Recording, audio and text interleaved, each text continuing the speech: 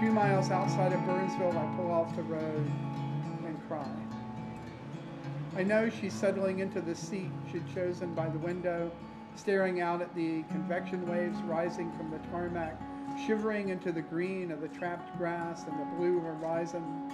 I know her smell and the way she fingers the bracelet of small shells I gave her months ago. I know she's crying the same tears. I never love her more than when she leaves. Hey there.